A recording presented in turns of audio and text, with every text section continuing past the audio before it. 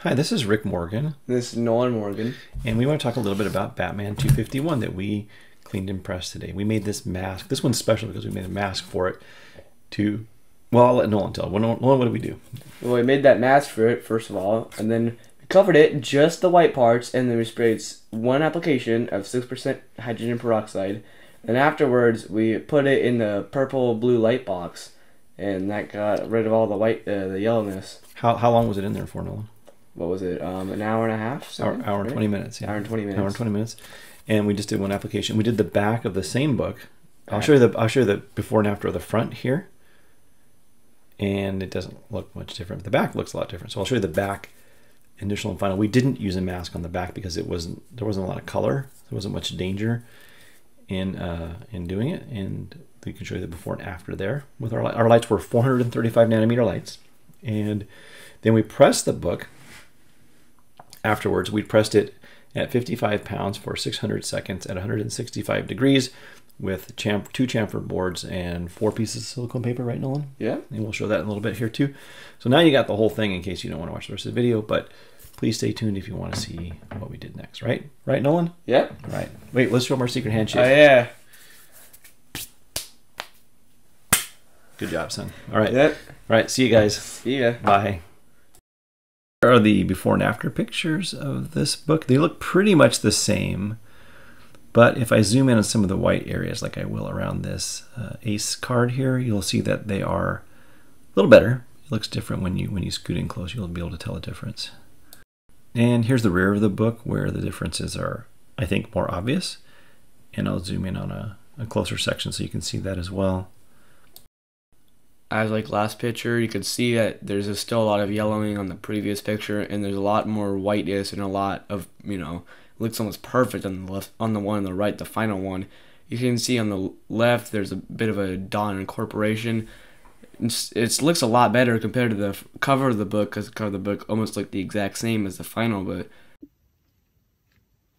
this particular book doesn't have a lot of wrinkles in it. There's a few color breaks and there's a spine ticks here, here with a little bend in them. They don't need a lot of pressing. And the front honestly doesn't look that bad. I'm going to clean it anyway, but um, this is actually supposed to be yellow, but there's the same sort of foxing and mottling throughout the front cover on the top that you can really see very apparent on the bottom of this book, especially if you look here where my finger is. I'll bring it up closer to the camera, you can see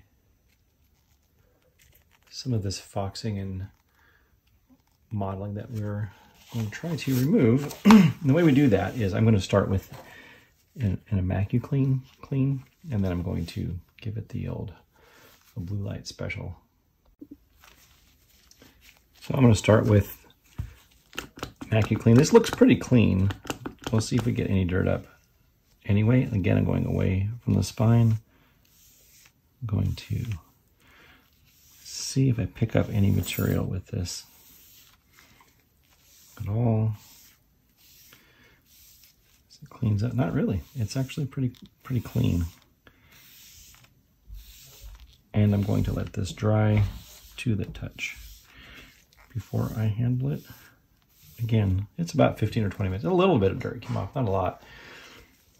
It's pretty clean. It's going to look a little better, but not a lot better on the front. Now we're going to do the same thing on the rear of the book, and I don't expect this to have much effect on this foxing, but the light and peroxide work better if you, I find that if you if you clean it first with this.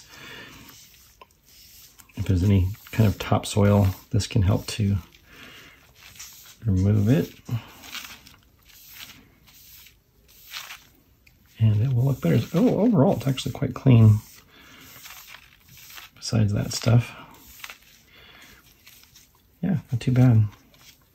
Not much is coming up.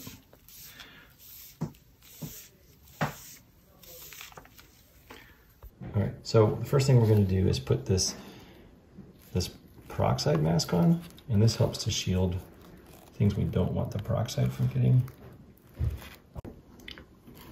So we take our peroxide bottle, I'm just going to squeeze it off here and take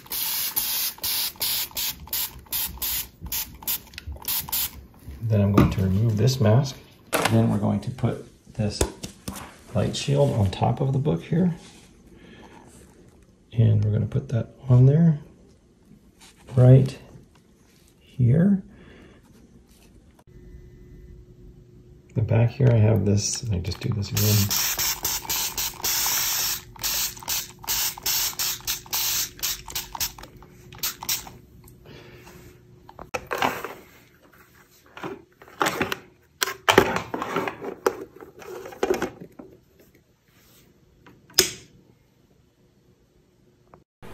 So after an hour and 20 minutes, this is what the book looks like in the back. And for comparison, I'll show the initial view on the left, see. the final view on the right Some of here, this which you can see and compare.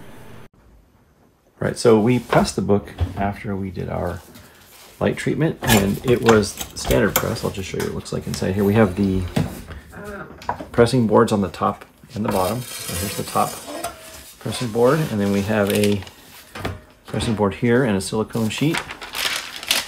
And here is the book, and inside we had a chamfer board and a silicone sheet in the front and the back. And underneath it's another silicone sheet. Let's take a look, see what it looks like now. Book, it's good. I mean, it wasn't really challenged in the front in the first place, but I think it looks better now. Definitely looks cleaner. The whites look whiter. And then we'll take a look at the back here. The back, I think looks better overall. So this is Rick and Nolan and who's this? And Coco? This is Coco, our puppy. And she wanted to be in the video too. She has a broken foot, so she's not feeling too good. She only weighs three pounds. Right? weighs three pounds. Poor dog. So we um, we want to say that the mask itself, we're not certain that it really there's really usefulness in it. We we like to not expose parts of the book to minimize the exposure to peroxide and light if we can. In areas where we don't think it doesn't necessarily need it, like you can tell we didn't do it on the back at all, but on the front the book with these delicate colors and a Bronze Age book that's a nice book, we just don't want to do it. We've hundreds, and dozens of books done without any kind of masking at all. They look pretty much the same, sometimes a little bit different, but uh, sometimes they look, feel a little stiffer after the peroxide use. So we're trying to minimize how much of the book is exposed to the material, and that's why we did it. Uh, is it necessary? Probably not. We just don't know. We just did it in this case, right, Nolan? Yep. All right. Anyway, take take care. Thanks for watching, and we'll see you next time. Bye bye. Bye.